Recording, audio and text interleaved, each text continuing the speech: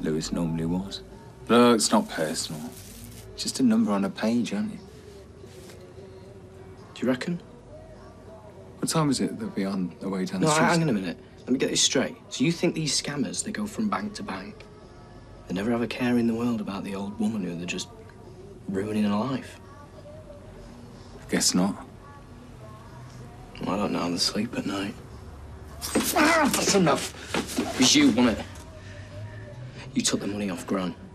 You haven't got a shred of evidence. No, I went to the cop shop. Had to be an inside job, didn't it? I mean, look at the timings. Bit of a coincidence, in it. A good defence, probably you. And she covered her hair up really well. She forgot about the tramp stamp on the back of her neck. I didn't worry. I didn't tell the police that I recognised her, but now I think it's coming back to me. Who put you up to it? Are you dreaming? What, Mr. Nice? Nick, you sweat if you go over a speed limit. Who was it? Right, right, right, right, right. There's no one. What? You just did it all by No, yourself? no, no, no, no, no. I did it for Leanne. What, is she in it No, no, no, well? she's not in on it, is she? No! Okay, I was up to my eyes in debt, okay, to Elsa.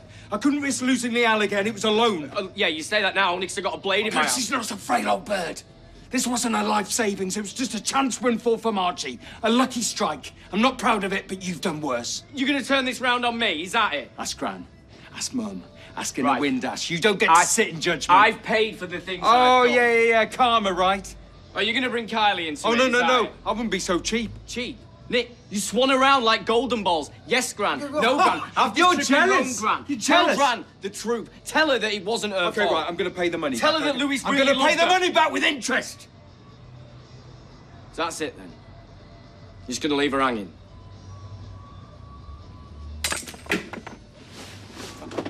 So. No, no, no, no, no. I can't talk right now. No, Natalie, I am not fobbing you off. I can't talk. Please.